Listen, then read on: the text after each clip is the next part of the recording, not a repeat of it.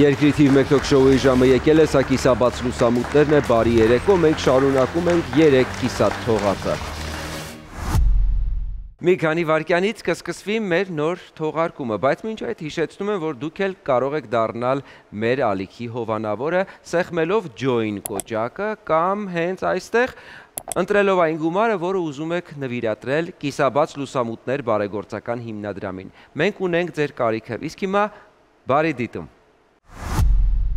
Գեղեցկությունը պետք է շեշտել մեյքափի լավագույն մասնագետների օգնությամբ։ Բյութի ֆաբրիկի բարձրակարգ մասնագետները թե Լոս Անջելեսում եւ թե Երևանում գիտեն ինչպես գեղեցկությունը վերածել արվեստի։ Իմ խոսքի այս հատվածում ես իհարկե կարող էի թվարկել բյութի ֆաբրիկի առավելությունները, բայց ես դա չեմ անի։ Այցելեք ու ինքներդ համոզվեք։ Իդեպ բյութի ֆաբրիկում անց են կացվում նաեւ մեյքափի դասընթացներ։ Բյութի ֆաբրիկ գեղեցկությունը սահմաններ ունի եւ այդ սահմաններ գծողը դու ես։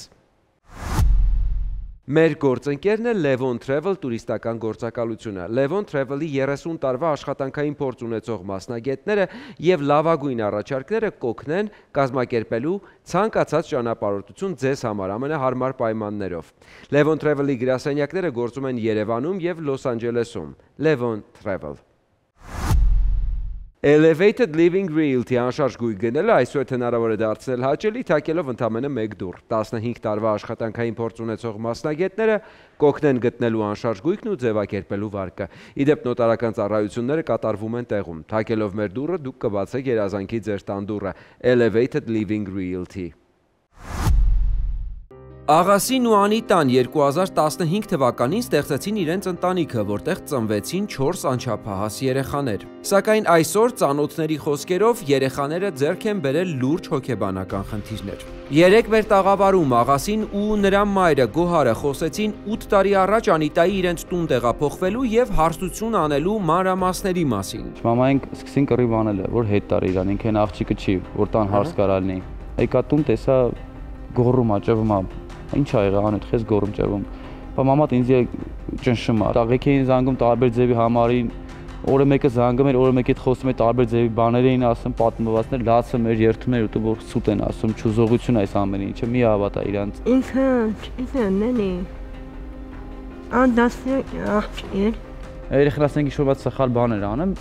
այդ երեխուն ինքը քֆուրով էր պատասխանում, խոսքի ես քո հորը սենց է ու տենց շարունակական բառեր։ Չի եկել ասել ինձ, որ կնիկը թենա Ստեփանակերտ ճամփից ուրիշ տղոյ եկավ իջավ ավտո, այդ նույն սատիկը տեսել ու լռել է։ 3 դեպք եղել է որը ես եմ parzել հենց։ Անգես մեկը զանգում, ասում աղաս, ես գիտեմ որ դու Երևան ես, բայց ձեր տնից ուժեղ տղու ձենա գալը, կռիվա ձեր տան մեջը սաղ ընկերների զանգան որ գրանդ է տղեկը վախենում են գնա ասում են աղբե կավա գնանք մի բան ալնի մնա մեր վզով ասեն քո ընկերներն են արել ավելավա դիմի ոստիկանություն այսօր մեր եթերում կլսենք նաև Անիտային ինչպես է նա մեկնաբանում աղասիի կողմից հնչեցրած նոր կողակից ունենալու թմրանյութեր օգտագործելու եւ մի շարք այլ մեղադրանքներ ու ինչ շոկային բացահայտումներ է անում վերջինս հենց աղասիի վերաբերյալ կիմանաք երկրի թիվ 1 թոք շոուի տաղավարում ծնողով որբերը երկու կիսաբաց լուսամուտներից ներս։ Այս ամենը տեղի էր ունենում երեք մեր տաղավարում, կիսատ մնաց պատմությունը հենց այդտեղ։ Եվ այսպես ճանապարհին եք ուղևորվում եք Գորիս, որտեղ կինը դեռ տեղյակ չէ, որ հանդիպելու է ձեզ, որ ճանապարհ եք ընկել։ Ինչ է տեղի ունենում ընթացքում։ Ժամանակ ինքն է զանգում, ինձ ժամը 9:30 ալնում տոնը փոխած ագրեսիվ, ասում զանգեցիր մենթերին գործ տվեցիր վրես, ես այս գնում եմ քո մենթանոցը, ես այս կեթամ եմ պերամոն բերնով կասեմ, ես ով եմ, ասեմ մի գնա, սպասի գալիս եմ։ Բա ուշ արդեն ես իմ որոշումը կայացրել եմ ու անկապ սկսում եմ բաներ խոսալը։ Ես ուրիշ կյանք եմ ընտրել իմ համար դեպի ավելի լավ կյանք, ասում այդ քո լավ կյանք ընտրածը որ կյանքն է այդ որ այտենց վստահ ես ասում եմ ես շրջապատ ունեմ, կրիմինալ կյանքով եմ ուզում ապրեմ, Հարցնում ինչ, ասպա կրիմինալ կյանքով եմ ուզում ապրեմ։ Ասեմ դու հասկանում ես ինչի մասին ես խոսում։ Ասպա շատ լավ եմ հասկանում ինչի մասին եմ խոսում, ես հեսա կեթամ քո ասած մենթանոցը իրանց հարցերն եք լուծեմ։ Այսինքն ուզում եք գնալ այնտեղ էլ տեղակ պահել, որ ինքը ուզում է կրիմինալ կյանքով ապրել։ Գնալ տեղակ պահել, որ ինքը տանը ինչ անում է ու ճիշտ է անում ու հերախոսը ադբոյտավեց տվեց հերախոսը երեխու ձեռը ու երեխին թողեց էլի մենակ գնաց ես դաժե ժամանակ քնիշներին եմ զանգել ասել եմ այդ երեխեքը տունը մենակ են ոք եկելա բաժին նստելա ձեր մոտ իմ երեխեքը այս րոպեին տունը մենակ անտեր են ես չեմ հասկանում եք թողում ինքը ասում է հեսա նորմալ է մենք կարգավորելու ենք այսինքն այնտեղ կատարվում էր մի process որ ես տեղյակ չէի ինչ էին ասում ոչ մի բան ես որ զանգում եք քնիշին ասում երեխեքը մենակ են տունը Այդ ժամանակում արդեն սա ընդեղ են եղել, երեխեքի մոտ են եղել։ Ու մտածել ինձի ոնց տեղակ պահեն այդ ամեն ինչի մասին։ Ինքը գնացել այնտեղ խմած, ուռած, վրեն վիճակ չի եղել ընդհանրապես ու այդ վիճակի համար Թմրանի ութեր օգտագործում Հա, այդ այդ ժամանակ զանգել են քաղպետարանի մայրային մանկանտեչից գնացել են երեխեքի հետևից։ Գնացել են երեխեքը սոված, ծառա առանց խնամքի ու զանգել են ինձի, ասել են աղասի, երբ կարաս գաս երեխեքի հետևից։ Ինքն է համարատրամադրել քնիչին, ասել է զանգի թող երեգա տանի երեխեքին։ Որտեղից ձեզ այդ ինֆորմացիան, որ նա մարիխուանա է օգտագործել։ Կամ եթե մարիխուանա չի օգտագործել, ինչ է օգտագործել։ Դե ես այդ ամիջից լավ չեմ հասկանում, իմ ընկերներից մեկին նկարագրեցի, որ սենց սենց բան կա, սենց բանա ծխի, ասեց դա չի կարա դերնի մարիխուանա, դա շոկոնա, քիմիա, որը չի թողում մարդ ուղեղը հանգստանա։ Ներես աղասի, այսինքն ճիշտ եմ հասկանում, ոստիկանությունում արդեն որ ինքը հայտնվել էր այդ վիճակում, արդեն նրա նկատմամբ քրեական հետապնդում էր սկսվել։ Եվ բայց ոչ- իրենք ահազանգել էին տեղական ինքնակառավարման Հա, մարմիններին, նրանք էլ այցելել էին ձեր բնակարան, որպեսզի երեխային Պարոն Դավթյան, ավելի լավ է մենք լսենք նույն այդ Մարիանա Աբգարյանին, ով գլխավոր մասնագետն է Գորիցի համայնքապետարանի երիտասարդության եւ սոցիալական հարցերով։ Եկեք լսենք ինչ էր նա մեզ պատմում։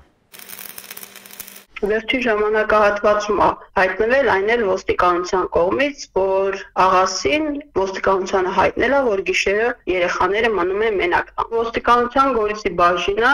առավոտյան երբ որ մոր հետ ներկայանում է, միասին գալիս են Գորիսի համայնքապետարան ինձ մոտ, այդ ժամանակ բարձում է, որ երեխաները գիշերը մնացել են մենակ, աճառը բանում է, որ ստացվել է, որ ինքը այդ գիշեր երեխաների հետ չի եղել։ Դե իր ասելով գործերով դուրս է եկել։ Ոստիկանության աշխատակցի ես եւ մեր մարզպետարանի ներկայացուցիչ միասին տուն այցեք կատարում։ Տեսնում եք տանը ծայրահեղ, ոչ թե վատ, այլ մխիթար պայմաններ չունեն, ոչ մի կենցաղային օգտագործման, ոչ մի պարագաներ։ Այսինքն մահճակալ, չգիտեմ, սեղան, աթոռ եւ այլն, ուղղակի տունը վարձու տվել են, երբ մենակ տեղաշորեր եւ այն ժամանակվա մարզպետարանի համայնքի կողմից հատկացված ինչ որ տեխնիկա, հեռուստացույց եւ սառնարը երեխաները բռնության ենթարկված չեն։ Իսկ անդամով առնման պետության կողմից իրանք 240 եւ ավելի հազար ամսական գումար են ստանում, թե տանված, թե նպաստ, որպես այդպեսին առաջարկ եղավ, որ մենք ունենք խնամքի կենտրոն, մենք երեխաների ժամանակավոր տեղափոխեք մեր խնամքի կենտրոն, սակայն հայրը ասեց ոչ, ես իմ երեխաներին կտանեմ եւ ինքս կպահեմ, իմ մայրս կպահի։ Ես անձամբ եմ կապ հաստատել իր մամայի, այսինքն երեխաների տատիկի հետ, տատիկը խոստովանել է, որ իրանք կպահեն երեխաներին։ Մայրը չի փորձում, ասել է հայրը եկել է, թող հայրն էլ տանի, ինքը պահի եւ չի էլ հրաժարվել։ Ուր են երեխաները հիմա։ Իմ մոտ։ Դուք եք խնամքով Մամայից սպա։ տուն ենք Ամսից Տեսեք,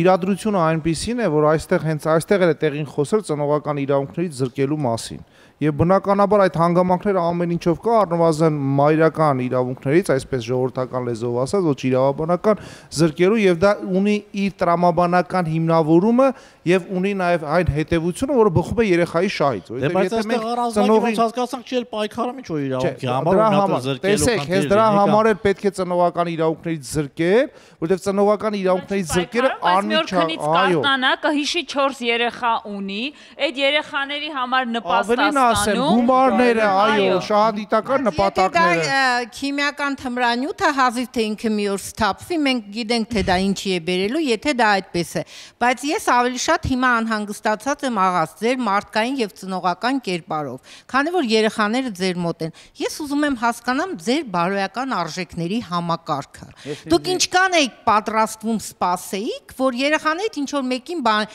եթե ձեր մայրը պատրաստական էր եւ այդ երեխաներին կարող էր պահել, կասեք դուք ինչի էիք սպասում։ Ձեզ էիք ապացուցում, որ այդ մայրը մայր չի, թե պարզապես աչք էիք փակում այդ ամեն ինչի վրա։ Ես զարհուրում եմ, հասկանում եք, ինչքան կարելի է սպասել, որ մարդը կփոխվի։ Ճիշտ ասած, ես մամայիս հետ էս վերջես եմ սկսել խոսալը, վերջես նկատում եմ էս վերջի երկու ամիսը։ Իրա պատճառով ես ասում եմ, ես շեշտել եմ երևի, որ իրա պատճառով շատերին եմ դեմ գնացել, որովհետև իրան չէին ընդունում ոչ մեկ մեր ազգում։ Իսկ ինչն էր պատճառը, որ դուք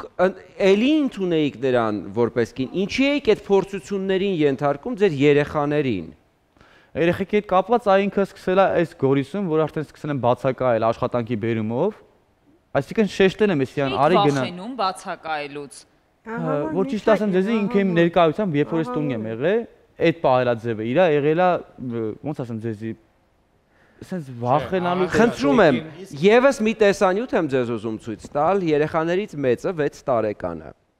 Մենք հնարավորինս մեղմել ենք գույները երեխայի խոսքի, ընդամենը 1 կամ 2 հատված կա, որտեղ թողել ենք այդ բառերը, որպես դուք պարզապես լսեք։ Այն ինչի մասին 3 երեկոյան, հիշում եք, չէ, հա- հարևանուհին ասում էր, որ երեխաները ինչ լեքսիկոն են օգտագործում։ Նայեք էկրաններին։ Papan գնաց է նունը տատկի տուն, մաման տաղամ ավտոբե մեզի քնացել, ես էլ եմ տեսամ մաման սկողը չքնած,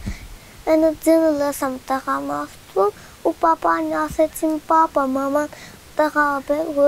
ու հետո պատշվեչվե ու եկա կոնոջանում ա պատշվեչվե հետո ասեց հոչ չասես որ ես վատ եմ, տղամ ավտեմ բե։ Ես ասեցի միական ունցը պապան, ինքնը մամայի վրա ճղանացավ ծեծեց։ Ոստիկանն եկեն տեսեն ես ու քույկս տեսում եմ։ Քույկս հողի մեջ է։ Ես ճոճոանա վրա, այնը չեմ ասում ձերն է։ Հետո պապան ասում է մաման սիգարետա ծխում, պիվա բերում, նավկամանա դառնում, խմում հետո լավ կամանա տանում։ Պապան ինձ չի ծեծում, բայց ինքը ինձ սիրում է, էլի։ Իսկ մաման ինձ ծեծում է։ Մենք խաղում ենք ինքը եկավ։ Քաֆու տվեց մեզ ու ծեծեց շափալախ տվեց նստանք։ Պապան ասեց փողը ուղարկելու, բայց ինքը ավտել այդ փողին բան ա, պիվա, բան է անում, դե յա պիվա, որ լավ սիրի կներեք մայրիկի համար երեխաները եղել են ոնց հասկացա եկամտի աղբյուր, որովհետև մենք լսեցինք նա։ Մայրիկ, պարոն Դավթյան, մի հատ եկեք այդ բառը ընտրենք, էլի։ Ինչի մասին ենք խոսում։ Միջև մայրիկը մի րոպե կներեք, աղաս։ Մի հատ ինձ կասես այն արտահայտությունը, որ ասում ես, այսինքն հանուն երեխաների հանդուրժել ես, որ երեխաներին բռնության ենթարկեն։ Այս ամենը չի տեղավորվի մոտ ոչ մի կերպ, այսինքն կապ չունի դա ծեծի ձևով եղել հայհոյանքի սովաստ ոնց հասկացանք չի իմացել այսինքն բռնիտ խմելու մասին առաջի անգամն էր որ իմացա որ ինքը խմում է կամ ինչ որ խմել ինքը եղել է իմ ներկայությամբ ասենք եթե երեխու ծնունդն է եղել առիթ է եղել ինչ որ տես մի ծնունդ առիթ որ ասենք ասել աղաս կլինի սա հարազատները ասենք մի բաժակ խմեմ եղել է տենց առիթներ բայց ինչ որ մնում է չի հարցնում մի բաժակի համար ոչ մեկ չի հարցնում իսկ ինչ որ մնում է կատեգորիի կետար խմեր գարտոնս ես խմած եկել եմ ու ես տենա էտի հանդուրժե չի եղել այդ իմ դեմը եղել այսինքն մի անգամ այդ սատիկ կոչեցյալ է, այ որ խոսում էր, այտենց իր հետ այ։ Այսինքն դրա համար է հարցնում։ Հա, իր հետ եղել է մի անգամ այտենց դեպք, եկավ փեշերը փռեց, բայ ես աղաժան, ես եմ թույլ տվել, բայց էլի խափեց։ Իսկ իմացե թե չեք ուզե իմանալ։ Իհարկե չի ուզել։ Չէ, ոչ չէ։ Ինձ համար անհասկանալի։ Ինձ համար անհասկանալի։ Դե երեխեքի խաթերը ո՞րն է։ Այսինքն երեխեքի վնասելը ձեր համար համարում է երեխեքի խաթր։ Մի անգամ խոսեցի իրան երեխից հերու բայ իրա ձեռները որ նայեք ափսոս չի եկել իրա ձեռները կտենայք շրանները կտրտեցինք իրա ձեռները ու խոստովեց որ ավելի բեթար է կանի եթե ես երեխեքին տանեմ բաժին ինքը նաև հոգեկան առողջության խնդիրներ դե, ունի ձեզ բոլորիդ վստահ եմ հետաքրքիր է ուր է Անիտան Անիտայի էջը բացելը մեր թողարկման մեջ ուզում եմ սկսել մի ձայնագրությունից, որը տեղի ունեցավ, երբ մենք ձեզ հետ նկարահանումների էինք։ Անիտան զանգահարում է կողակցին, ամուսին չասեմ Զանգարում է ձեզ, դուք միացնում եք բարձրախոսը եւ մենք բոլորս լսում ենք այն ինչ տեղի է ունենում հեռախոսից այն կողմ։ Նայեք էկրանին։ Դու լավ գիտես, որ ես կոյտեվից չեմ ընկե օրենքն անգե։ Շի ուրեմն կարճ կոնկրետ երկու բառ եմ ասում։ Երեխեքին ուր ուզում են թոտանեն, ով ուզում է թոտանի։ Ան այնքան կա, որ ոտիկը ելնի կկայնի, տունը կվեկալ հենա գործնել ունի ոտիկը հելիկ այդ հայ երեխեքին գվեկալ։ Դու գնա քո մասին մտածի։ Այսինքն քո կողի տղեն այդքան լավն է, կարա քեզ ապահովի։ Հա, ինքը ամեն ինչով է լավն է։ Այսօր այնքան լավն է, գործել է ճարը, տունն էլ է ճարը։ Միջև այս երկոնը տեղափոխվում է։ Դե մտ անամես հարց տամ, բա միջև այդ խի չեր անում, որ զանգում ասում էր փողի կարիք ունեմ, տունը դատարկությունն է, բա խի չեր անում։ Միջև այդ պետք չէ, ես իսկ թույլ չէի տալի, որ ասեի ուրիշ։ Հա, միջև այդ պրոցեսը լկրտվում է իր հետ մեջ կետևից։ Էդի արդեն քո գործը թե ինչ ոնց խի։ Հիմի գնա ապրի քո կյանքով։ Ես իմ կյանքով կապրում եմ, բայց քեզի խոսք եմ տալում։ Լավ բաներ չի սպասվում քեզի։ Հա, եղավ, всё, давай։ Սպառնալիքներ երկու կողմից էլ։ Դուք պատկերացնում եք, ես օրինակ չէի պատկերացնում, որ այսքան խրոխտ է ձեր կինը ձեր հանդեպ։ Ընդունեց ամեն ինչ եւ տղամարդիկ եւ այլն եւ այլն, սպառնացել, որ Կարող հրաժարվեց երեխաների։ Ինձ համար բացարձակ դա կանխատեսել էր ինչի, ես նախորդ եթերին ինչ էի ասում։ Ստացել եք այն, ինչ փնտրել ու գտել եք։ Այդ ահազանգը, երբ որ մի շաբաթվա ընթացքում աղջիկը համաձայնվեց, անծանոթ մեկի հետ փախնի, դա արդեն դրա մասին է խոսում։ Այսինքն ես կզարմանայի, որ հիմա խոսեր մի հատ այսպես բարձրատոհմիկ միտիկին ոսկեղենիկ հայերենով, դա նորմալ է, այսինքն այդ մենք չենք ճանաչում Անիտային, չէի ցանկանա որակ տայի, բայց այդ մի փոքր այդ գրեհիկություն կար տոնի մեջ, լկտի մի տեսակ սենց պահելաձև կար հաշվի առնելով որ 4 երեխաներն էլ հոր մոտ են։ Ես չզարմացա, որովհետև համացանցի պատերի տակ ինչ որ գտնում եք, դա հետագայում մեծանում է, դառնում է ավելի ինչ որ այդ որակի մի բան, այսինքն ինչու՞ն է խնդիրը։ Դա խնդիր չէր լինի, եթե նրանք ճունենային երեխաներ, ընկերներ։ Տեսեք, իրենք ինչ ուզում են, թող իրենց կյանքի հետ անեն բայց մեկ անգամ մարդիկ պատասխանատվությունը վերցնում։ Ամենևին նրանք ոչ մեկին ոչինչ չեն արել։ Ոչ, ընկերներ, եկեք պետք չի, ոչ չկա այդպիսի բաներ։ Բոլոր բարոյական եւ որոնք նաեւ իրավական նորմեր են, ամեն կերպ կարող են կարգավորել, եթե նրանք սկսեն խախտել այլոց իրավունքներ։ Այստեղ նման բան տեղի չի ունեցել։ Հանեք երեխաներին։ Երեխաներին հանեք իրավիճակից։ Եթե 10 րոպե ժամանակ նրանք ովքեր պատասխանատու էին երեխայի անվտանգության համար, անցկացնեին այս ընտանիքի հետ, նրանց ամեն ինչ པարս կլիներ։ Եթե մասնագիտական որևէ գնահատում լիներ այս ընտանիքում, այսպիսի իրավիճակում այս երեխաները չէին հայտնվի 6 եւ ավել տարի շարունակ, ծնվել են երեխաներ, մանկահասակ են մինչ օրս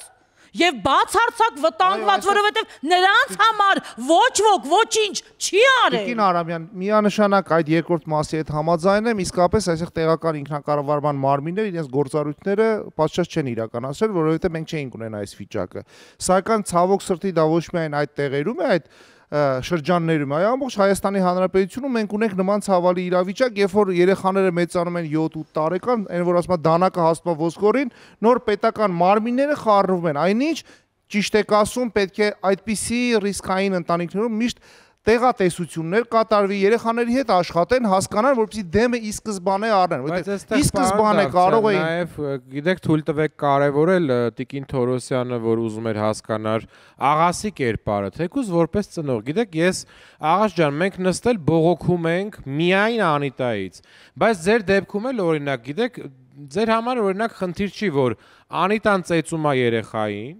Դուք ծեծում եք Անիտային, նույն արարքն է, չէ՞, ինքը ծեծում է իրենից ավելի թույլին, դուք բաժնում եք դրա համար նույն արարքը անելով իր հետ։ Նորմալ է, որ ծեծել եք։ Հայհոյելը դուք ասում եք դե կռվի ժամանակ եմ հայհոյել, այսինքն այս երեխաների մեջ, երբ որ կա այդ լեքսիկոնը, հայհոյանք, այդ փոքր հրեշտակ երեխան արդեն գիտի ինչա նշանակում թմրամոլ, քֆուր, այդ բառը ես իրեն եմ ցիտում։ Ես ես այս տարիքից հայհոյանք եմ դա ասում։ Երեխան դա այդ բառն է ասում, այդտեղ նաև լավ թող չլինի 50%-ով, 30-40%-ով նաև ձեր մեղավորությունն է, աղաս ջան, այդտեղ խնդիրը նաև ձեր մեջ է։ Մենք լսել ենք նաև Անիտային, անձամբ զրույց ենք ունեցել նրա հետ, հravirել նրան տաղավար։ Ինչ պատասխաններ է նա տվել, ինչ գույներ է բերել այս պատմության մեջ, ինչ բացահայտումներ է արել, ամեն ինչ արժևում է։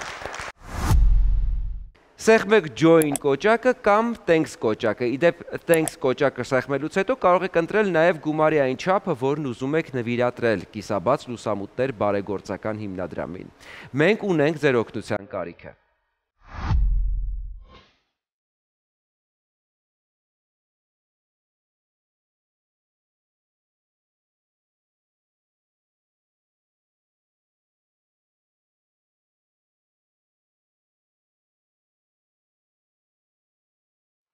Մեր 40 տարվա փորձառությունը ձեր ապահով թռիչքների եւ փափուկ վայրիչների գրավականն է։ Գրասենյակներ Լոս Անջելեսում, Երևանում գները հարմար բոլորի համար։ Վստահեք մեզ ձեր բոլոր ճամփորդական հոգսերը։ Ձեզ կմնա միայն վայելել թռիչքը եւ հանգիստը Levon Travel-ի հետ։ Elevated Living Realty. Մեր 15 տարվա փորձը կոգնի ձեզ բացել երազանքների տանդուրը։ Փորձառու մասնագետները կգտնեն տունը եւ կձևակերպեն լոնը շուկայում լավագույն պայմաններով Նոտարական բոլոր ծառայությունները եւս կատարվում են տեղում։ Elevated Living Realty. Մեր մասնագետները կտրամադրեն նաև խորհրդատվություն թաքսերի ձևակերպման հարցում։ Թակելով մեր դուռը դուք կբացեք ձեր երազանքների տան դուռը։ Elevated Living Realty. Beauty Fabric-ն արվեստանոց է։ Գեղեցկություն ստեղծելու արվեստանոց։ Միջազգային ճանաչում ունեցող Աշխեն Կոստանդյանն ու իր թիմը գիտեն ինչպես գեղեցկությունը վերածել արվեստի։ Beauty Fabric-ում առօրյան վերածում են գեղեցկության։ Դիմահարդարում ու վարսահարդարում, որին գնահատական կտան ոչ միայն ձեզ հանդիպողներն, այլև ոլորտի ամենախիստ մասնագետները։ Beauty Fabric Միացեք Հրաչ Մուրադյանին սոցցանցերում։ Հետևեք Հրաչ Մուրադյանի անձնական կյանքին եւ տեսեք եթերից դուրս իրական կադրեր, որոնք տեղի են ունենում կիսաբաց լուսամուտների նկարահանման հրապարակում։ Բացառիկ լուսանկարներ եւ տեսանյութեր։ Հրաչ Մուրադյանը Instagram-ում, Հրաչ Մուրադյանը Facebook-ում, Հրաչ Մուրադյանը TikTok-ում։ Գրեք, քննարկեք, խոսեք ու առաջինը տեսեք այն, ինչը Հրաչ Մուրադյանն է պատմում իր մասին։ Հրաչ Մուրադյանի կյանքը կիսաբաց բաց լուսամուտներից ներս ու դուրս։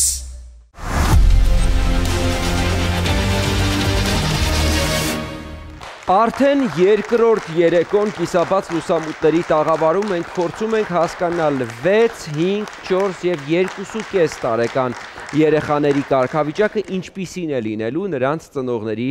իրարից բաժանումից հետո։ Եվ տաղավար վերադառնալով եկեք վերջապես լսենք նաև երեխաների մորը, ով մեզ այդ զրույցը սկսեց հենց այսպես սենց ասա, իմ նախկին ամուսինը իմ կողակցի նկարը Facebook-ից քաշելով շատ ան արժանապատիվ բաներ է տարածում։ Ինչի համար, որ ես իրան թողել եմ, չգիտեմ էլի, ինքն է չգիտի ինչ ա ուզում։ Դաժե տանտեղն է փոխել, որ ինքը ոչ մի բան չիմանա իմ գոյության մասին։ Նույնիսկ երեք ինքը ինձ գրել է, իմ ու այդ տղու նկարը քաշել է, հա, ես թաքցնելու բան չունեմ։ Ինչ, այդ համենայն դեպս այս նեղ օրերին այդ տղենա ինձ թեբու թիկում։ Տունս ճարելա, գործը ճարելա, մինչև այսօր եթե նեղություն եմ ունենում, ել ինքը հասնում է, ինչով որ կարենում է, օգնում է։ Էդի ինքը ինձ պիտի աներ, ոչ թե այն մարդը, ում հետ էլ ես կյանք չեմ կապել։ Եղել այն ժամանակ, երբ որ աղասին կա, եթե աղասին ձիգ տղամարդ ըլներ, ամուր ըլներ, ինձ բարի իր բռի մեջ, կյանքում ոչ մեկն իրան թույլ չէր տա ինձ մոտիկանար։ Այսինքն ձեր ներկայության ժամանակ է եղել։ Այո, սթափ չի, դրա համար էլ ձեզ մոտ այդ տպավորությունն է, թե ինչեր է խոսում։ Կարծում եմ Անիտայի զրույցի ժամանակ եղել է ոչ adekvat, մայրիկ, խնդրում եմ պարոն Դավթյան, ել չանվանել այս կնոջը, աղասի նախքին կինն է, երեխաների, չգիտեմ, կենսաբանական մայրն է, ինչպես ասենք։ Գալեք ես մի բան ասեմ, ես իրանց հիմա այնքան եմ զզվում, ավելին ասեմ, թե առաջ խղճում էի։ Շուտ զզվեիք էլի։ Հա, իդ միակ սխալը, որ ասում եք մեղավոր եմ 30%-ով, 30 չէ, 100%-ով ես մեղավոր եմ մի բանի մեջ։ Այ դա ճիշտ եք։ Որ վստահել եմ շատ իրան, ու չգիտեմ, սիրել եմ մի զզվելի արարածի, որ իսկի դաժե ծնողը գիտես պատմությունը ու նորմալ ընդունում։ Աղաս ջան, տեսեք, նախ ես հիմա հասկանում եմ ինչի ենք մենք այս ծանր բասկաթորներին նստում, որովհետև ստեղ նենց բաներ ես լսում, եթե աթորներ մեջքի վրա ուղակի կընկնեիր, էլի, այսինքն կինը իր այդ դավաճանությունը բացատրում է, որ խնդիրը աղասի մեջ է։ Լավ, դա անցանք։ Աղաս ջան, բայց ինքը ուրիշ բան էր ասում։ Ասում է հետապնդում է, գրում է, նկարներ է ներբեռնում, դա ինչ պատմություն։ Նկարներ ներբռնել եմ, տրամադրել եմ ձեզ, մեկ էլ ոստիկանությունը պետք է, որտեղ ինքը համարները փոխել էր, կորել էր, ծնթական երեխի ճղղելա, որ նպաստը կանաստանա միջև այսօրս, միջև այս րոպե։ Ես հիմա Դեռ ինքն է ստանում։ Ինքն է եղել է սենց։ Ես փորձել եմ գնամ գորիս, չեմ թաքցնում, ուզում եմ սպանել իրան, անկեղծ։ Այդ եղել է ժամանակ, երբ որ աղջիկս պատմեց ինձ, ամեն ինչ որ լսում եք նոր։ Ուղեղս այդ պայն չգիտեմ ինչ կատա, ստրես տարա, շոկ ապրեցի։ Մի պա կտրվա աշխարհից ու միակ բանը որ ուզում եի, ուզում եի սպանել իրան։ Չէ, մենք չենք քաջալերում, նույնիսկ ձեր ցանկությունը է ձեր ասացի, դա այս լուսանկարի մասին էր խոսքը գնում, որը ներբեռնել է։ Ասում որ ես տեսել եմ։ Տեսեք, ես Սա ձեր նախկին սիրելին նոր սիրելիի հետ է իր։ Այսինքն երեխաների նպաստի գումարը սիրելիի հետ ծախսվում է գարեջրի, խմիչքի, ծխախոտի, թմրանյութի եւ ամենի վրա։ Ու մեղավոր է աղասը, այդպես է ստացվում։ Դե տեսեք, միանշանակ դուք հիմք ունեք համապատասխան մարմինների միջոցով, որ նա չստանա, դուք ստանաք, որովհետեւ օրինական ներկայացուցիչն եք նաեւ դուք, ընդ որում արդեն ասեցի։ Սակայն ես քիչ առաջ ինչու էի ուզում էի ցանկանում էի ասեի, որ այդքան էլ համաձայն չեմ, հարգելի փորձագետներ, որովհետև նույն Անյուտա, հա, Անիտա, Անիտա, նույն Անիտան նույնպես եղել է երեխա։ Մենք այս երեխաներին եթե չհետևենք, նրանք միգուցե ավելի վատը դառնանք։ Այսինքն մենք այստեղ մենք քննադատում ենք իրեն, սակայն իրականում մենք ենք իրեն այդպես դարձրել։ Ես ընդհանուր նկատեմ ոչ բոլոր այդ երեխա եւ այլն խնդրում եմ, հա, ամեն մի գրեհիկ մարդուն ու չգիտեմ անպատասխանատու լկտի եւ այլնին պետք չի միշտ զոհ սարքել։ Մարդիկ լինում են տարբեր, վատ, լավ, ոչ այնքան լավ եւ այլն։ Այսինքն ոչ բոլոր աղջիկներն են դառնում այդ գրեհիկ եթե անցնեն նույնպիսի Լավ, հիմա Անիտան կլսի պարոն Դավթյանին, կասի վայ, տեսեք, ես եմ զոհը բացի աղասից նաեւ բոլորն են մեղավոր մխիթարեք ինձ ամբողջ գյուղով։ Ես այսօր ինֆորմացիան ձեզ չափավոր եմ ուզում տալ, որովհետև հասկանում եմ իրականում բասկաթորներն են, որ ձեզ կանգուն են պահում այսօր այստեղ։ Անիտան անդրադարձավ նաև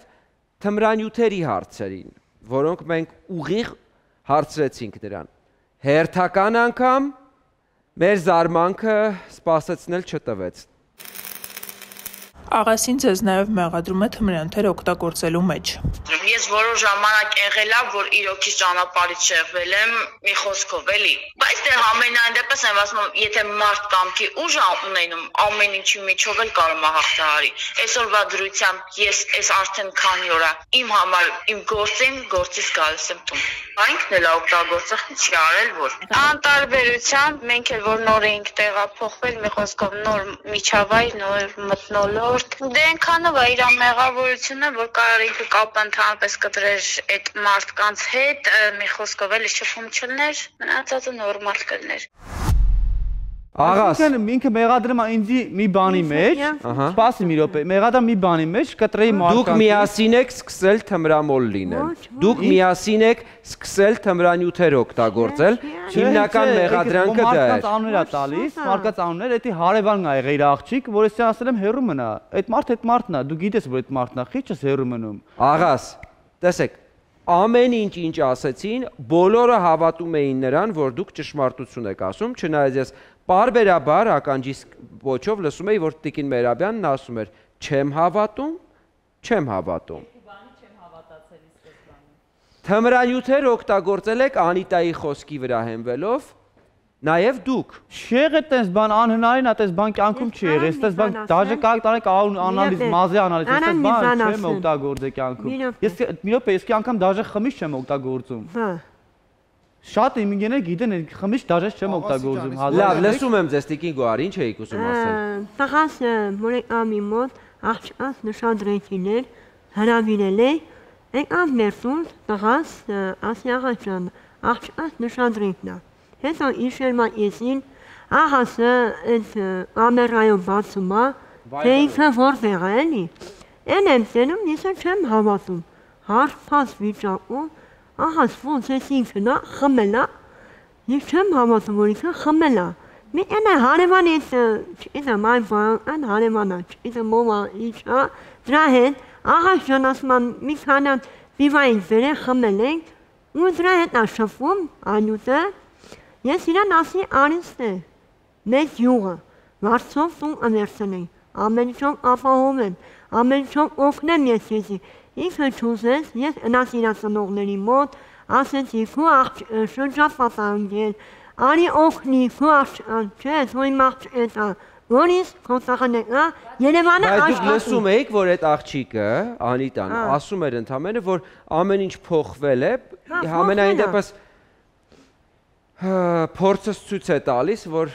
հենց այս տեսակ է լինում իրավիճակը։ Երկու օր է արդեն ես լավ եմ, աշխատ Հետո նորից անես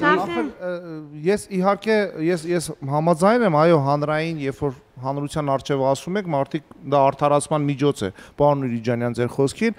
բայց ամեն դեպքում մենք ինքներս նաև որպես ես իրավաբան ցանկացած դեպքում պատասխանատվության նպատակը, պատժի նպատակը անձի վերադաստիարակելն է, որովհետև ես ասացի ի սկզբանե արմատը եղել է թույլ, թողել են անձին ազատության մեջ, անոթի վիճակի մեջ, ինչ տեսել են ասովորել է։ Հիմա երբ կարող է ինքը մի 10 տարի հետո օրինակի համար հասկանա թե ինչ վատ արարքի արել։ Ընկերներ, դուք տեսեք, մենք ամիսներ շարունակ է բղավում ենք եւ այս տաղավարից եւ բաց թեմայի տաղավարից, որը շոկ եղավ։ Դրանից հետո վերջապես լրատվականներ սկսեցին անդրադառնալ։ Թեման բաց է արդեն, բոլորը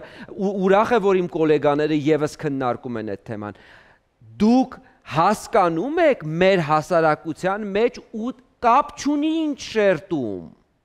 որքան է թմրանյութը մխրճված ինչ ընտանիքներում, որ դուք երբևէ չեք կարող պատկերացնել։ Գործերով է երևում, որովհետև այսօր բազմաթիվ են, ես ասեմ 100-ավոր, դուք ասեք հազարավոր բազմաթիվ են ու տարբեր հանրապետություններից ներմուծում են նոր ձևերով ու ասեմ ավելին հիմնականում ավելի զարգացած այդ տելեգրամյան ալիքների միջոցով են այդ գործողություններն անում եւ Ես ասեմ ավելին հաջորդ շաբաթ մենք եւս մեկ թողարկում ենք պատրաստել բաց թեմայի տաղավարում թմրանյութերին վեր եւ հերթական բացահայտումները նույնիսկ Միացյալ Նահանգներից հյուր ունենք հայտնի այդ կապակցությամբ։ Եթե հետաքրքիր է հետևեք հաջորդ ուսփաթ բաց թեմային։ Միշտ վերադառնալով մեր դեպքին, պարոն Դավթյան, պատիժ ասվածը ճակերտավոր Դուք շատ լավ գիտեք, այս դեպքում ծնողական իրավունքների սահմանափակում զրկումն է, Այսինքն կոշ ներգործելու միջոցը։ Այո, տիկինը շանս ունի ուղվելու եւ այլն։ Ոչ թե նստել, մխիթարել, իր հետ զայնակցել, թե ինքը ինչ զոհ է եւ այլն։ Այսինքն մենք ցանկացած մարդու, այո, կարող ենք հիմնավորել, ինչի է եկել բանը հասել Եթե ինքը հիմա լիներ 15 տարեկան, մենք ինչ էինք անում։ Ինքը զոհեր թե ոչ։ Երբ այս վիճակում չլիներ, միգուցե ես կմիանայի այն մտքին, որ նրան պետք է օգնել եւ նրա բարձի թողությունը պետք է վերլուծել։ Գուցե նրան մինչև վերջ լսեք, որովհետև նա շարունակում էր խոսելը։ Նա ուներ դեռ գույներ բացահայտելու, նա ուներ դեռ շերտեր, որոնց կարելի էր կարող էր մեղադրել։ Դուք էլ դրանցից մեկն եք, Տիկին Գոհար։ Լսենք իմ ծնողը դրա հաջորդ օրը կամ երկու օր հետո այդ մանդեղ լացելով զանգում այն ասում է փրկի քո երեխեքին։ Քո երեխեքը կես մարդ են դառը։ Կտանիկով շիզոֆրենիա են, չեղած տեղից կարողա անենց մի հատ պատմություն սարքեն, որ այդ մարդը, չգիտեմ, կամ ինֆարկտ ստանա, կամ էլ ասի լավ ես մեղավոր եմ, լիշբը դուք ճիշտ դուս գաք։ Իրանք ահավոր մարդիկ են։ Իրանց տան մեջ այսքան ասել մի նորմալ խոսակցություն չի եղել։ Միշտ վեճ վիճաբանություն, հայհոյանքներ, չգիտեմ, էլի քուրը ախորը, ախպերը, քրոջը, մի խոսքով մի հատ այլանդակ վիճակ։ Մեկը մեկից հիվանդոտ, ընդ հիվանդ տղա կա, ալ սաղն խփում է, չգիտեմ ինչ էր անում։ Սա պատմության մեջ մի բանը ճիշտ ասեց, հիվանդ տղա կա այդ ան մեջ, դա հիվանդ աղբեր է սա, որ ինքը ինձնի էպիլեպսիա հիվանդություն ունի, որը մերես չի հրաժարում այդ երեխուց հոգա տանում։ Այդ մի բան։ Ես չեմ հասկանում ինչի է ասում այս աղջիկը։ Ես չգիտեմ ինչի է ասում։ Իրական խնդիրը նա է, որ ինքն է իր երեխաներին դե, լքել։ Ես կուզենայի, այո, հասկանալի հիվանդ երեխու պատմությունը ոչինչ բան լսա Իրանից։ Գոնե մի բառ լսեմ երեխաների մասին։ Ես ընդամենը մեկ անգամ լսեցի, որ երբ որ ես լավ լինեմ, երեխաներից կվերցնեմ։ Էլ ոչինչ չկա։ Եվ լավ է, այս տղան էս արե, այն արե, նպաստը իր մոտ է թե արդյոք նրան պետք է նայել որպես մի զոհ, որը որ փոքր տարիքում դաստիարակություն չի ստացել, ասեմ որ կյանքի փորձը ցույց է տվել, որ ամեն երեխա ծնելուց հետո կինը ավելի ու ավելի իմաստություն ա ձեռք բերում եւ ավելի հմուտ ա դառնում։ Այսինքն, եթե նա արդեն ունի 4 երեխա, նա առնվազն պետք է հասում մարդու խելք եւ վարքագիծ ունենա։ Այս կինը չի ուղղվելու։ Ես բացարձակ ասում եմ, դուք հույս դնեք, հույս չդնեք։ Այդպիսի բան չկա։ Կլինի միայն այն ժամանակ, երբ որ աստված մի արաստե կամ բարեբախտաբար ինքը կունենա ծանր հիվանդություն, կգանվի բազմոցի եւ կհիշի, որ ունի երեխաներ։ Բայց ցավոք սրտի աղաշյան չեմ տեսնում, որ դուք էլ կայուն եք։ Բայց եթե ձեր երեխաներն էլ Աստված մի արասե 8 տարի վատ ճանապարհով գնան։ Դուք երբ եք դա նկատելու։ Դե դրա համար ես այս րոպեն չեմ ուզում ընդհանրապես յան շանս տակ ընդհանրապես ուղղվելու հնարավորություն։ Ինձ ավելի հաճելի է, չգիտեմ, մի քիչ կոպիտ կլինի, ինձ կարող մեղադրեն դրա համար։ Ինձ ավելի հաճելի է երեխեն գնա խնամքի կենտրոն, մանկատուն ինչի՞ չա նայ, բայց իրան մոտիկ չգնայ մեր երեխան։ Որտեվ շատ դժվար է լինելու այդ երեխաներին հիմա դա սիրակել։ Ինչ որ ինքը արել է երեխու հանդեպ, իմ երեխուն ես այս 17 տարի մեջ մոռացրել եմ տվել։ Հասկանում եք, դա շատ կարևոր է, որ ձեր երեխաներին օր առաջ անհրաժեշտ է մասնագիտական միջամտություն։ Իրենց կյանքի զարգացման, անվտանգության, առողջության եւ ամենակարևորը դաստիարակության։ Ու մեկ էլ ամենակարևորը իմ աղջիկը ուղիղ դուրս գա այն ամեն տեսան ինչ որ տեսել է այդ վերջի ժամանակը հատվածում Գորիսում։ Այդ նշանակում է որ դու պետքա չխմես չծխես։ Տանը պետքա լինի միայն ջան, հաջան, խոսքը տիկին գوار հիմա այս արդեն որպես տատիկ 4 երեխա պայելը հեշտ չի։ Ես ասեմ, արամ մի բան ասեմ, արամ ասեմ, ուրս երեխա եմ պահել։ 2019-ին ամուսինը մահացել է։ Ես մնացել եմ ոչ մի պետություն ինձ չի օգնել։ Ես իմ ամքով ծուն եմ արել ու ապրել եմ։ Ոչ թե ինձ ասել, հիմա այս Չորս երեխաներին ով ափահեն։ Հանգստացի, նշա բարերով դիքեր կպնում։ Միած հիվանդ երեխան եմ, որ ֆահում եմ մինչև օրս։ Հա, տիկին գոհար, մենք ձեզ հասկանում ենք, մենք աղասին, քանի որ ուզում ա որ երեխան այս դրվագները մոռանան, պետք է տանը բացառել որևէ նույնիսկ կոշտ խոսք, որևէ կոպիտ խոսք, միայն պետք է լինի դրական ժպտերես հարաբերություններ, խմիչքը, ալկոհol, անգամ հոտի առումով հիմա ձեր երեխաներին Դուք հավատում եք, որ այս ընտանիքը հրաժարվելու է այս թեման քննարկելուց առավոտից երեկո։ Դե բայց մենք պետք է չդադարենք ասել ինչն է կարևոր երեխաների։ Այո, բայց միևնույն ժամանակ մենք պետք է ռեալիզմը մեր առաջ դրած ունենանք, հասկանում եք, մենք կարող ենք ասել իրականությունից հեռու բաներ, որոնք գիտենք, որ այս տաղավարից դուրս գալով նրանք չեն անելու։ Եվ միևնույն ժամանակ հիմք ընդունելով մեր փորձը տեսածը, լսածը եւ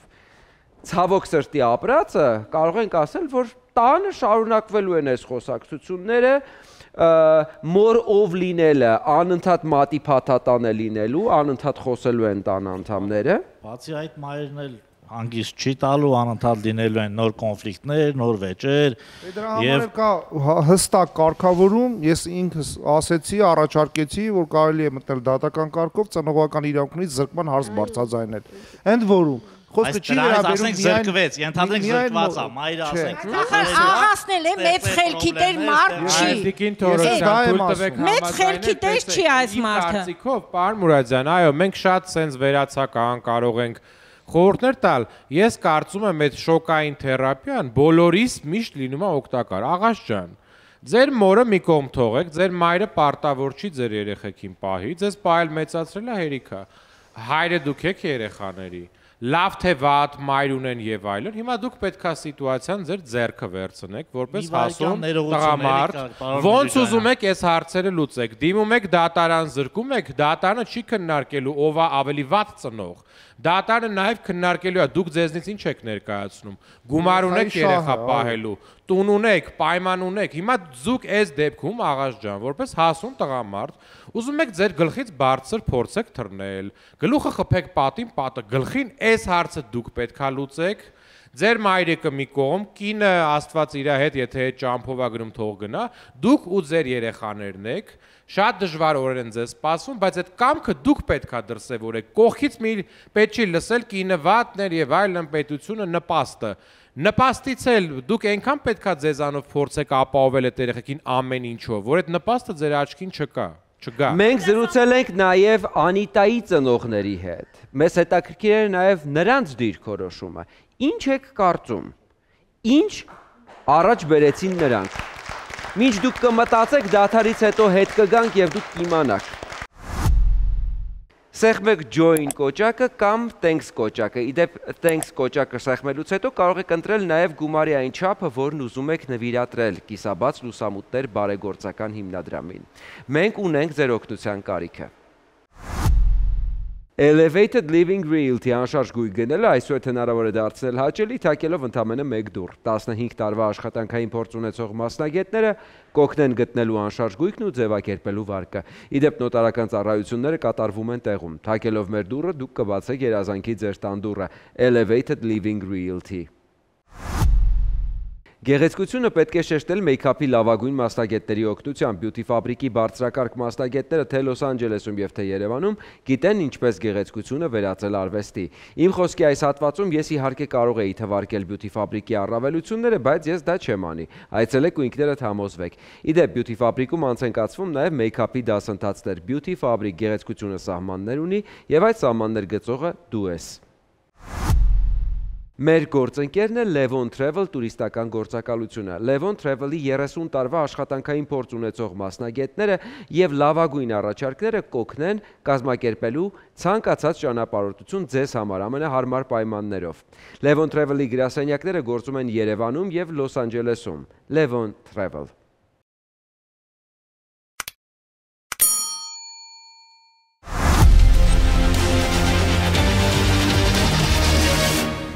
Այս զույգի համատեղ կյանքը տևեց 8 տարի։ Այդ տարիների ընթացքում նրանք լույս աշխարհ բերեցին 4 երեխա։ Ուր են երեխաները եւ ինչու են նրանք պնդում, որ մայրիկն ու հայրիկը իրենց տեղում չեն, մենք փորձում ենք հասկանալ միասին մեր տաղավարում։ Ինչպես խոստացա միջև դաթար գնալը, մենք զրույց ենք ունեցել նաև Անիտայի ծնողներից մեկի հետ։ Անիտայի հայրը, պարոն Նիկոլ Բալասանյանն է մեզ ներկայացրել իրավիճակը։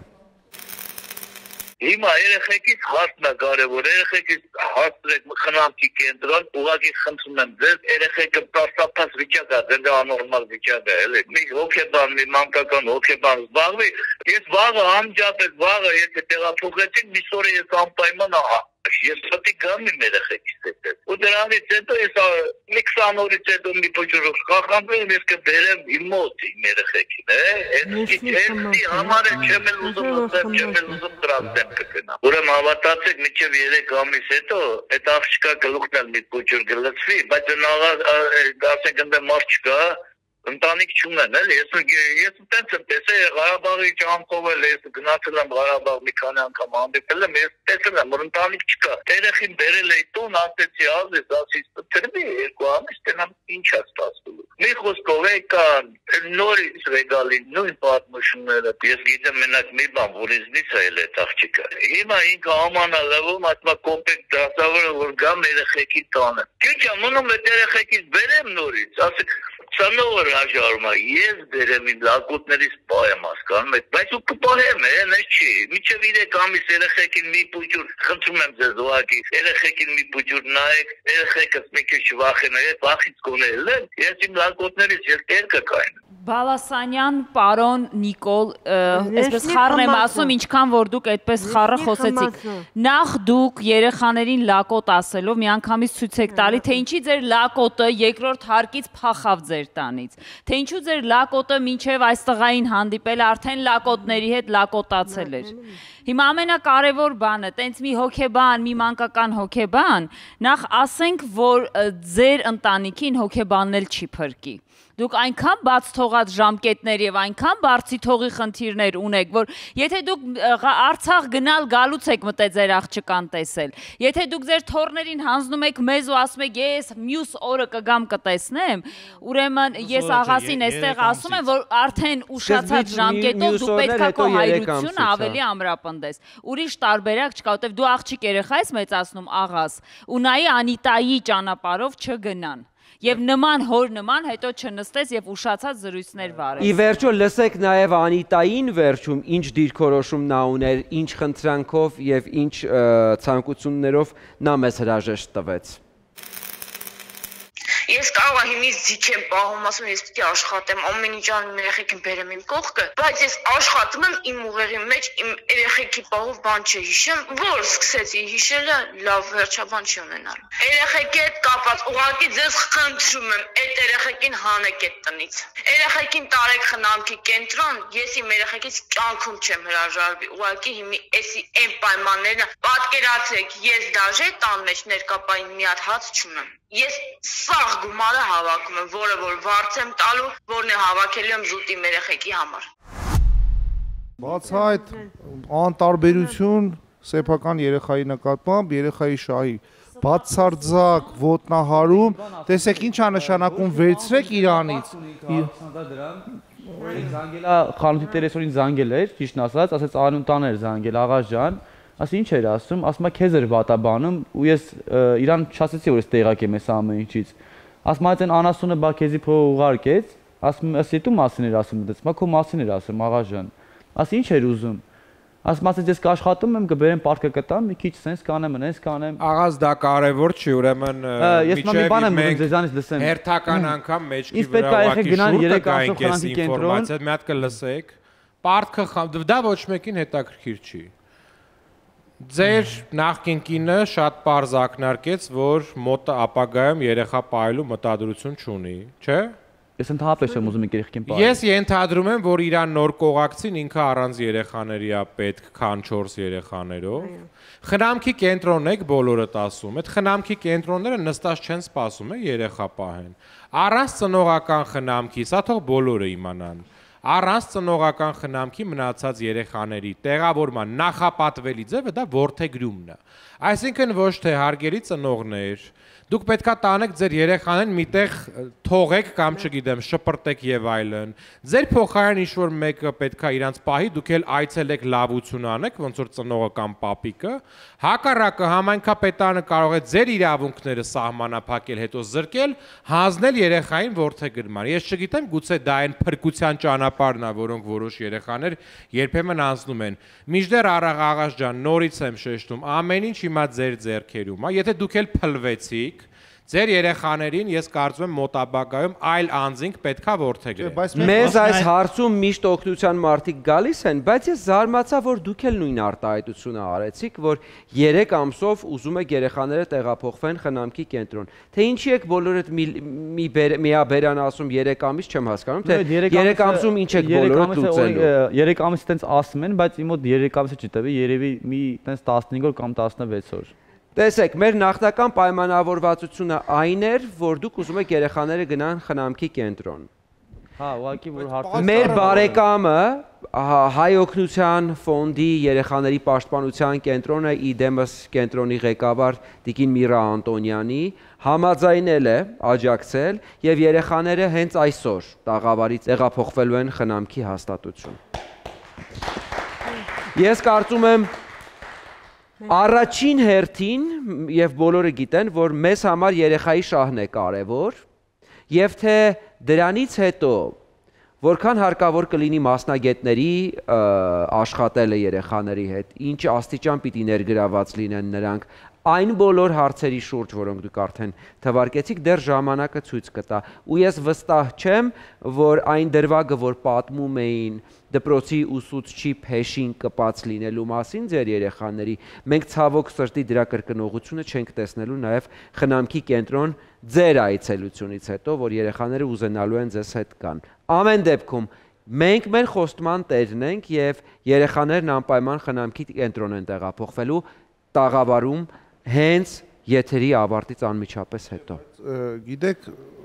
ես մի պահ ճիշտ չէի հասկացել, ճիշտ չէի ընկալել, ես կարծում էի, թե աղասի ջան, դուք ամուր ուզում եք երեխաներին պահեք անգամ այնպիսի պայմաններում, թեկուզ դրանք լինեն վատ, ամեն դեպքում երեխաները ձեր Չէ, բայց միգուցե ավելի խելամիտ է այս պահին, եթե հասկանում եմ ես, պարոն Մեհրաբյան, սա հասկանում եմ։ Ես հենց հարցը եկա, որ դուք չեք ամաչում։ Ծնողական ինստինկտ։ Այդ ամեն ինչից հետո երեխաները գոնե մի ծնողի գուրգուրանք կտեսնեին, ուղարկում եք խնամքի կենտրոն։ Բայց պատրաստ է արդյոք այդ ծնողը այդ գուրգուրանքը։ Ես չգիտեմ պատրաստ է։ Պետքա պատրաստ է։ Ամեն դեպքում ես այս կողմից էլ հիասթափվեցի։ Սերական ակտերի այդ 1 2 3 4 ծնն ծննդաբերելուց պատրաստ էր թեկուս հայր ծնող։ Ես դրա համար եմ ասում, պարոն աղաս, ձեր մտեցումը հավատացեք, ես շատ լավ տեսնում եմ։ Անիտանա ձեր բոլոր ու երեխաների բոլոր դժբախտությունների մեղավոր է։ Բայց այս հարցում ես չեմ կարող միանշանակ ասել։ Քանի որ Անիտայի արածը շատ Թույլ տվեք պարոն Մերաբյանը ավարտի։ Թույլ տվեք Տիկին Արամյանը ավարտի։ Քանի որ Անիտայի արածը շատ ավելի վատ է, ես ինքս փորձեցի ինչ որ մի դրական տեղ գտնել դրանից կարճելու համար, որ հույս ունենալ, որ նա կարող է ինչ որ կերպ ուղղվի։ Ուղղակի դրա համար ձեզ այդքան չեն քննադատում։ Բայց սա ամբողջ պատասխանատվությունը հիմա ուզած թե չուզած ձեր վրա է։ Նախ ամենասխալ, ի սկզբանե սխալը ձերն ա եղել։ Այդ երկրորդ հարգից որ չբռնեիք, այսքան բանը չէր լինի։ Այդ մեկ։ Իսկ ինչ վերաբերում է այս եթե ավելի ավելի թույլ տվեք, եկեք օբյեկտիվ տվյալներին նայենք, stop։ Օբյեկտիվ ինքն պետք է ծնողավարական հմտություններ ձեռք բերի։ Չփորձենք մենք մեզ պատկերացնել այդ իրավիճակում։ Միակ զարմանալի է, բայց ողջամիտ որոշումը այստեղ այն է, որը տվյալ դեպքում հայր ծնողը կայացրել է։ Ընկերներ, մենք չպետք է մտածենք գուրգուրանքի եւ հուզական այլ շերտը չեն կարող մտածել։ չեն կարող մտածել չեք եղել, այո, այո, այո, եւ այդ իսկ պատճառով երեխաները չպետք է ականատես լինեն։ Տեսեք, ընկերներ, Լավ թե վատ, բարեբախտաբար մեր երկրում գոյություն ունի օրենսդրություն։ Եվ որքան էլ տարօրինակ է հնչում, միակ ճիշտ լուծումը միշտ իրավականն է։ Տիկին Արամյան, ճիշտ եք ասում, բայց մեր համար զարմանալին այն է։ Զարմանալի ոչինչ չկա այստեղ։ Զարմանալին այն է, երբ որ երբ որ ծնողն է դա։ Տեսեք, եթե ժամանակին պատկան մարմիններն իրենց աշխատանքը անեին, մենք իրոք կկարողանայինք կանխարգելել ընդհանրապես նման անառողջ մտնոլորտում երեխաների ծնվելը։ Բայց հիմա բարեբախտաբար Աստծո հաջողությամբ թե պատահաբար մենք ունենք 4 մանկահասակ երեխա, որոնք թունավոր մտնոլորտում հարգելի են։ հյուրեր, դուք դες հարմար լռեք, թող մենք այստեղ կոկոտ Տեսեք, ես վստահ եմ, որ դուք երկար կգորակ, փաստը մնում է փաստ։ Տեսեք, Ես այս երկու թողարկումների ընթացքում 3 ու այսօր մտածում էի մի բան, այս տարիների ընթացքում ինչքան եմ լսել, դե մի անգամ, դե ամեն օր մի բաժակ հաց ուտելուց խմում ենք, դե մի հատ ապտակել եմ, դե մի հատ, դե մի հատ։ Տեսեք, այդ դե մի հատները մեզ բերեցին այստեղ, որ մենք հիմա նույնիսկ արդեն ստիպված ենք լսելու ծանր թմրամիջոցների մասին դե մի հատը։ Մենք երիտասարդների դեմս ձեզ, իսկ դուք երիտասարդ եք։